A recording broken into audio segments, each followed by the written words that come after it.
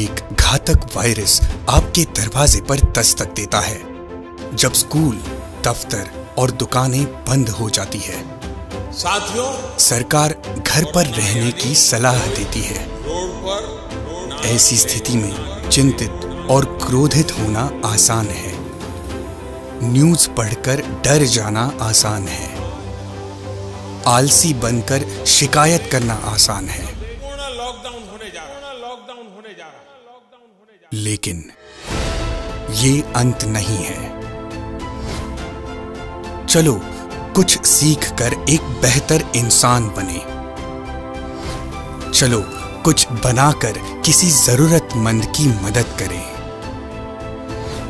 चलो डोनेट करके हमारे देशवासियों की सहायता करें। बस स्टे एट होम नहीं। लीड फ्रॉम होम करें।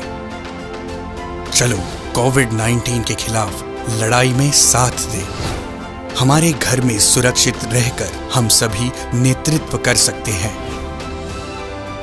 कुछ सीखते, बनाते या डोनेट करते हुए अपनी एक फ़ोटो या वीडियो लेकर फेसबुक ट्विटर लिंक्डइन या इंस्टाग्राम पर शेयर करें।